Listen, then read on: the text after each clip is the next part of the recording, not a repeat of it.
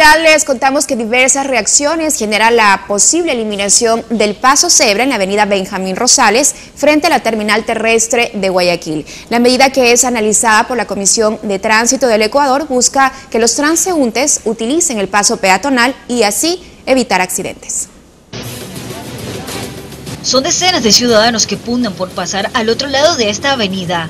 Este panorama es durante todo el día, debido a la cantidad de viajeros que llegan de distintos lugares del país y algunos del exterior. La mayoría prefiere esperar aquí y evitar usar el paso peatonal, que está justo frente a la terminal terrestre, sumado a que además está este semáforo y vigilantes que se encuentran en el lugar.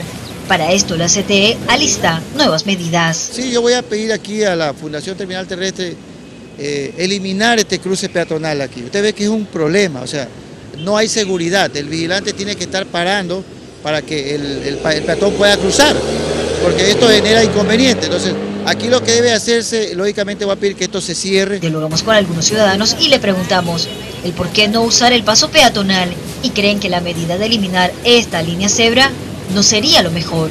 Hace lejos y muy largo la, el camino, para subir todo nos, nos cansa.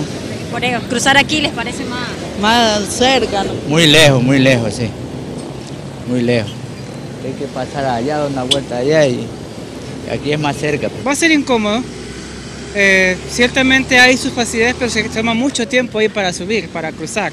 Se toma hasta 15 minutos. Encontramos opiniones divididas y hay quienes se refieren al tema de seguridad. Es la mejor decisión que puedan a tomar, porque imagínense este tráfico aquí muchas veces la gente está amontonada. Está muy bien, está muy bien y eso debe hacerse ya rápido. Claro, es que nosotros estamos pasando por aquí porque siempre se pasa por aquí, ahí no...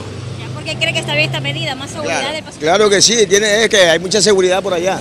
Este planteamiento por parte de la Comisión de Tránsito del Ecuador ya fue presentada a autoridades de la Fundación Terminal Terrestre. Gilena Perlaza, Telegrama Noticias.